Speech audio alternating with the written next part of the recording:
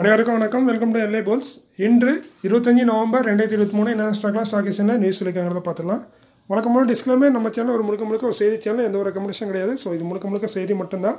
So நாங்கள் எந்த ஒரு ரெக்கமெண்டேஷன் கொடுக்குறதில்ல நாங்கள் செபிரிஸ்டர் அட்வைஸரும் கிடையாது.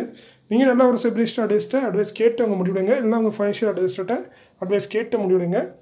வீடியோ ரொம்ப சின்ன வீடியோ தான். நீங்கள் ஸ்பேர் பேக் ஸ்பீடை இன்க்ரீஸ் பண்ண வேண்டிய அவசியம் இருக்காது. ஏன்னா நீங்கள் ரொம்ப சின்ன வீடியோ தான். ஒரு ரெண்டு நியூஸ் தான் இருக்குது அது கூட லாஸ்ட்டாக வந்த நியூஸ் தான். ஸோ அதுமாதிரி இதில் வர எல்லா விஷயமே கரெக்டாக இருக்குன்னு சொல்ல முடியாது. சில தவறுகள் இருக்கும் வாய்ப்பு இருக்குது ஸோ டேட்டா மிஸ்டேக் இருக்க வாய்ப்பு இருக்குது ஸோ அதனால் நீங்களும் ஒரு தடவை கிராஸ் வெரிஃபை பண்ணிவிட்டு அதுக்கப்புறம் உங்கள் முடிவிடுங்க இல்லை உங்கள் register SEBI register adviser advice கேட்டு முடிவிடுங்க இந்த நியூஸ்லாம் கன்ஃபார்ம் தானாங்கிறத ஆன்லைனில் செக் பண்ணிவிட்டோ இல்லை உங்கள் ஃபைனான்ஷியல் அட்வைஸருக்கோ கேட்டுவிட்டு அதுக்கப்புறம் நீங்கள் முடிவிடுங்க ஸோ வாங்க வீடியோக்குள்ளே போயிடலாம். இன்றைக்கி நம்ம பார்க்க போகிற முதல் பங்குன்னு பார்த்தீங்கன்னா செலோ வேர்ல்டு லிமிடெட் இவங்க ரீசெண்டாக லிஸ்டான கம்பெனி இவங்க இப்போ குவார்டர்லி ரிசல்ட்டாக அறிவிச்சிருக்காங்க. ஸோ நண்பர் ஒரு கேட்டிருந்தேன் அதுக்காண்டி இந்த இதை போட்டிருக்கேன். ரெவன்யூ பார்த்தீங்கன்னா நானூற்றி எண்பத்தெட்டு கோடியே தொண்ணூத்தாறு லட்சம். ஸோ இது குவார்டர் கோட்டில் பார்த்தீங்கன்னா மூணு மூ மூணு புள்ளி அஞ்சு சதவீதம் கிட்டத்தட்ட மூணு சதவீதம் உயர்ந்திருக்கு. ஸோ நல்ல ஒரு இம்ப்ரூவ்மெண்ட் கொடுத்துருக்காங்க. ஒன்லி குவார்டர் அண்ட் குவார்டர் மட்டும் தான் இருக்குது இயர் ஆன் இயர் அவங்க மென்ஷன் பண்ணல. அதுவே நெட் ப்ராஃபிட் ஆஃப்டர் டேக்ஸ் பார்த்தீங்கன்னா எண்பத்தாறு கோடி ஐம்பத்தெட்டு லட்சம். இது குவார்டர் அண்ட் குவார்டர் கம்பேர் பண்ணிங்கன்னா நாலு புள்ளி அஞ்சு சதவீதம் வந்திருக்கு ஸோ நல்ல ஒரு ரிசல்ட் தான். நம்ம செலோ ஹோல்ட் லிமிடெட் போஸ்ட் பண்ணியிருக்காங்க. ஓரளவுக்கு டிசைனான ரிசல்ட்டு சேல்ஸும் இம்ப்ரூவ் ஆயிருக்கு. ப்ராஃபிட் ஆஃப்டர் டேக்ஸும் இம்ப்ரூவ் ஆயிருக்கு. அடுத்து பார்த்தீங்கன்னா Rashtriya chemicals and fertilizers limited கான்பேஸ் நூற்றி இருபத்தி மூணு. நல்ல ஒரு டிவெண்ட் கொடுக்கக்கூடிய ஒரு ஃபெர்டிலைசரில் உள்ள ஒரு கம்பெனி டிவெண்ட் ஆல்ரெடி அறிவிச்சிருந்தாங்க. இந்த டிவெண்ட் அறிவிச்சது பார்த்தீங்கன்னா மே மாதத்தில் ஸோ மூணு ரூபா எழுபது பைசா அறிவிச்சிருந்தாங்க. அதுக்கு ரெக்கார்டு இன்றைக்கி அறிவிச்சிருக்காங்க. ஸோ பதிமூணு டிசம்பர் ரெண்டாயிரத்தி இருபத்தி மூணு தான் ரெக்கார்டு எக்ஸ் டேட்டு ஸோ அதுக்கு முன்னாடி ஸ்டாக் ஹோல்ட் பண்ணால் அந்த மூணு ரூபா எழுபது பைசா டிவெண்டாக கிடைக்கும்.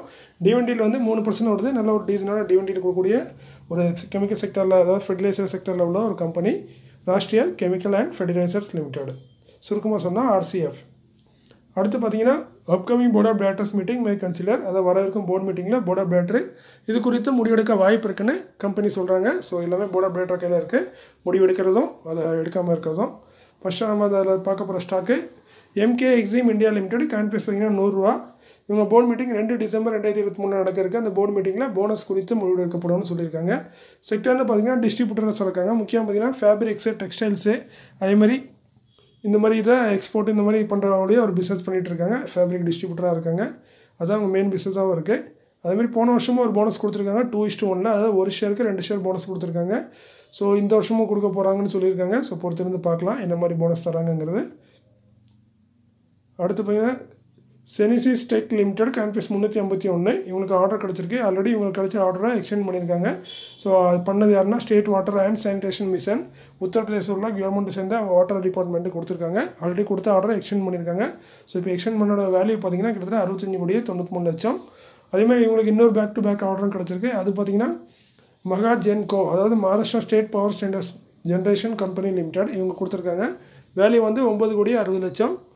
ஸோ இதுவும் பேக் டு பேக் இவங்களுக்கு ரெண்டு ஆர்டர் கிடச்சிருக்கு. ஸோ இது நல்ல நியூஸ் தான். இந்த ஸ்டாக் ஹோல்டருக்கு ஸோ இத்தோட நியூஸ் முடிஞ்சது. ஸோ நான் மேற்கொண்ட நேற்று ஒரு நண்பர் ரெண்டு நண்பர்களுக்கு கேள்வி கேட்டிருந்தாங்க. அவங்களுக்கான பதில் மட்டும்தான். ஸோ நியூஸ் முடிஞ்சது. ஸ்கிப் பண்ணுறவங்க எங்கேயும் ஸ்கிப் பண்ணிடுங்க. கமெண்ட் செய்த நம்பர் இருந்தால் மட்டும் கொஞ்சம் பாருங்கள் நான் எனக்கு தெரிஞ்ச எனக்கு தெரிஞ்ச பதில் சொல்கிறேன் இதில் நான் பையோ செல்லோ ரெக்கமெண்டேஷன்லாம் பண்ணல. அந்த ஸ்டாக்கை பற்றிய செய்தியை மட்டும்தான் சொல்கிறேன் அது இன்ஃபர்மேஷன் மட்டும்தான்.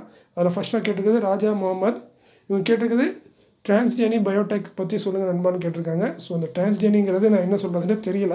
நான் அதை என்ட்ரி பண்ணும் போதே இப்படி ஒரு ஸ்டாக் இருக்காங்கிற மாதிரி தான் இருந்துச்சு.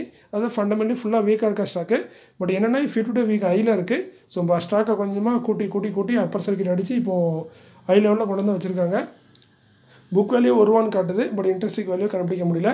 ஆர்ஓஇ ஆர்ஓசிலாம் பார்த்தீங்கன்னா எல்லாம் மைனஸில் இருக்குது அதுமாதிரி மார்க்கெட் கேப் அறுபத்தெட்டு கோடி தான். ஸோ இது ஒரு penny stock so ROE ROCE minus ரிசர்வும் பார்த்தீங்கன்னா அறுபத்தி நாலு கோடி மைனஸில் இருக்குது ஸோ கடன் ஏகப்பட்ட கடன் வச்சுருக்காங்க.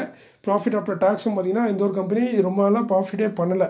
எல்லாமே லாஸ் தான். எல்லா வருஷமுமே. அதுவும் ஒரு கோடி ரெண்டு கோடிலாம் இல்லை. பத்தொம்பது கோடி இப்போ இருபது கோடி எட்டு கோடி பத்து கோடின்னு ப்ரா லாஸ் பண்ணியிருக்காங்க. ஸோ இந்த கம்பெனியில் ஃபண்டமெண்டலி நீங்கள் பார்க்குறதுக்கு ஒன்றுமே இல்லை.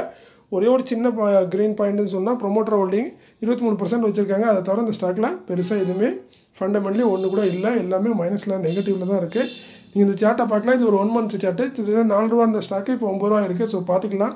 ஒரு மாதத்தில் இந்த ஸ்டாக்கை அப்பர் சர்க்கியூட் அடித்து அடித்து இப்போ பார்த்தீங்கன்னா ஹை லெவலில் கொண்டு வந்து வச்சுருக்காங்க. ஃபிஃப்டி வீக் ஹையில் அதேமாதிரி ப்ரொமோட்டர் ஹோல்டிங் ஒன்று தான் இதில் சொன்ன மாதிரி ஒரு சின்ன ப்ளஸ் பாயிண்ட் தான். சின்ன ப்ளஸ் பாயிண்ட்னு சொல்ல முடியாது. அது ஒன்று தான் எனக்கு நல்ல விஷயமா தெரியுது. இருபத்தி மூணு பர்சன்ட் ஹோல்டிங் வச்சுருக்காங்க. பென்னி ஸ்டாக்கு ஸோ அந்த இது அப்படியே மெயின்டைன் பண்ணியிருக்காங்க. இதை தவிர இந்த ஸ்டாக்கில் நல்லதுன்னு எதுவுமே இல்லை. ஸோ இது வந்து ஃபண்டமெண்டலி ஃபுல் அண்ட் ஃபுல் ஒரு கேம்லிங் ஆடுற மாதிரி தான். அதை நம்ம லாட்ரி சீட் எடுத்த மாதிரி தான். ஸோ கிடைக்குமா கிடைக்காதாங்கிறது தெரியாது. ஏன்னா இதில் ஃபண்டமெண்டல்னு சொல்கிறதுக்கு ஒன்றுமே இல்லை. இப்படியே மேலே போவோம் அப்படியே கீழே வரும். இதுதான் நடந்துகிட்ருக்கும் இந்த மாதிரி ஸ்டாக்கில் இவங்களாம் ஆப்ரேட்டர் வந்து இதில் வந்து கேம் ஆடுவாங்க இந்த மாதிரி ஸ்டாக்கில் தான் கேம் ஆடுறது அவனுக்கு ரொம்ப பிடிக்கும். ஏன்னா நம்ம சின்ன மாதிரி ரீட்டைலில் உள்ளே பூந்துட்டோம்னா நம்ம மேலே தலையில் கட்டிட்டு அவங்க கிளம்பிடுவாங்க. ஸோ இது வந்து முழுக்க முழுக்க ஆப்ரேட்டர் கையில் கிடைச்ச ஒரு ஸ்டாக்கு தான். அதேமாதிரி இன்னொரு நண்பரும் கேட்டிருக்காங்க. இந்த டியர் சார் பேரும் சிவகுமார். ஐஎல்எஃப் என்டர்பிரைஸ்னு கேட்டிருக்காங்க. ஆக்சுவலி அது ஐஎல்ல ஐஎஃப்எல் அவங்க தப்பாக மென்ஷன் பண்ணியிருக்காங்கன்னு நினைக்கிறேன். ஸோ நான் எடுத்தது வந்து ஐஎஃப்எல் தான் ஸ்டாக்கை தான் எடுத்திருக்கேன். ஸோ அதை பற்றி டீலில் கேட்டிருக்காங்க. அது இப்போ ரீசெண்டாக ஒரு போனஸே டிவிண்டும் அறிவிச்சிருந்தாங்க ஐஎஃப்எல் என்டர்பிரைசஸ் இதுக்கு முன்னாடி பார்த்த ஸ்டாக்கை விட இது கொஞ்சம் ப்ராப்ளம்னு சொல்லலாம். ஏன்னா கரண்ட் ப்ரைஸ் பார்த்தீங்கன்னா அஞ்சு ரூபா ஓடிட்டுருக்கு. ஃபிஃப்டி வீக் லோவில் தான் ட்ரேட் ஆகிட்டு இருக்கு கிட்டத்தட்ட. புக் வேல்யூ பார்த்தீங்கன்னா ஒரு ரூபா.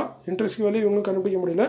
அதேமாதிரி ஸ்டாக் பி பார்த்தீங்கன்னா இரநூத்தி இருபத்தெட்டு. ஸோ இவ்வளோ தான் இப்போ ஃபிஃப்டி வீக் லோவில் இருந்தாலும் ஸ்டாக் பி வந்து ஏக்கப்பம் எக்கச்சக்கமாக இருக்குது அதேமாதிரி இது ஒரு மைக்ரோ கேப்பு கிட்டத்தட்ட நூற்றி இருபது கோடி மார்க்கெட் கேப்பு ஆனால் என்ன கம்பெனி கொஞ்சம் ப்ராஃபிட் பண்ணிகிட்டு இருக்காங்க. அதேமாதிரி ரிசர்வ் கொஞ்சம் வச்சுருக்காங்க. கடன் அதிகமாக இல்லை. ஸோ டெப்ட் ஈக்குட்டி பார்த்திங்கன்னா பேர் ஒன்று கூட இல்லை. டெட் ஃப்ரீ ஸ்டாக்னு கூட சொல்லலாம்.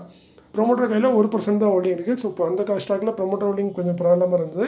பட் இந்த ஸ்டாக்கில் ப்ரொமோட்டர் ஹோல்டிங் இல்லைனாலும் கம்பெனி ப்ராஃபிட் பண்ணுறாங்க டெட் ஈக்குட்டி இல்லை.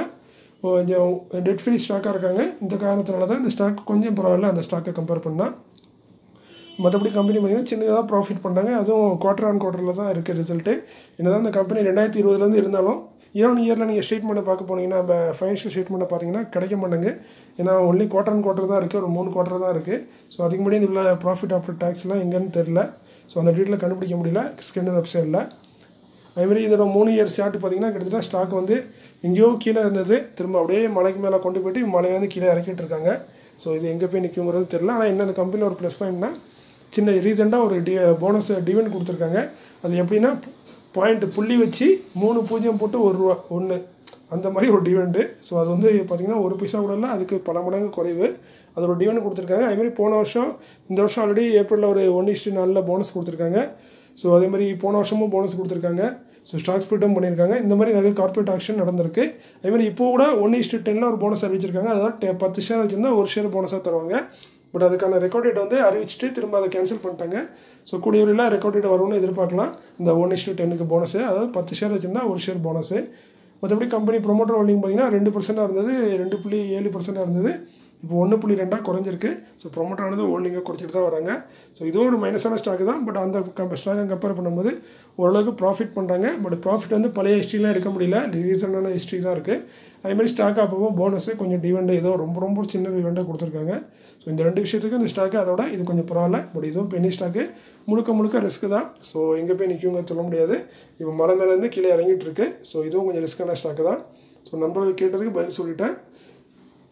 அதே மாதிரி மீண்டும் ஒரு நல்ல காலையில் உங்களை சந்திக்கிறேன். மேற்கொண்டு நியூஸ் ரொம்ப கம்மியாக தான் இருக்கும். ஸோ அதனால் பெருசாக எதுவும் நியூஸ் வராது. வீடியோவும் வரதுக்கு வாய்ப்பு இல்லை. முடிஞ்ச அளவுக்கு எதாவது நல்ல நியூஸ் கிடைச்சா தேடி பிடிச்சி போடுறேன். மீண்டும் ஒரு நல்ல காலையில் திரும்பவும் சந்திக்கிறேன். இப்படிக்கு உங்களில் ஒருவன் நன்றி வணக்கம்.